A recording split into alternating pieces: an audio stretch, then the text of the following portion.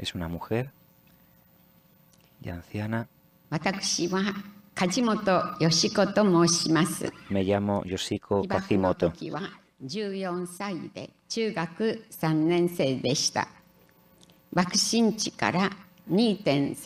Cuando fuimos bombardeados tenía 14 años y era un estudiante de secundaria.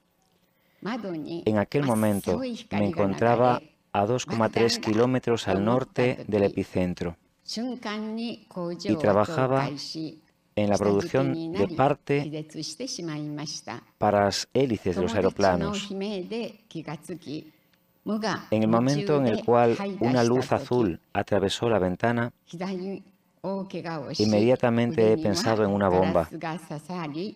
Después, la fábrica colapsó ruidosamente y yo quedé inconsciente. Desperté entre los gritos de mis compañeros, pero todo era oscuro y no podía moverme porque estaba sepultada bajo los escombros. Me di cuenta que una amiga estaba sepultada debajo de mí. Yo la he llamado por ver si estaba viva. Intenté escapar, pero tenía el pie trabado con una madera. Cuando finalmente tuve éxito para liberarme, mi espinilla estaba herida y sangraba abundantemente.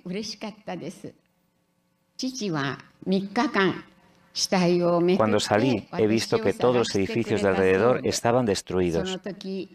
Estaba todo oscuro, como si fuese tarde, y apestaba como a pescado podrido.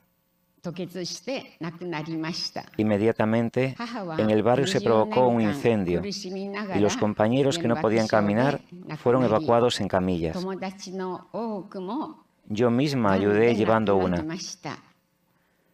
A lo largo de la calle había personas que caminaban unas al lado de otras como fantasmas. Personas cuyo cuerpo era casi, estaba casi quemado, que no dejaba diferenciarles entre hombres y mujeres, los cabellos lacios, los rostros hinchados, los labios colgantes, con ambas manos extendidas y con la piel quemada que colgaba. Ninguno en este mundo puede imaginar una escena similar, infernal.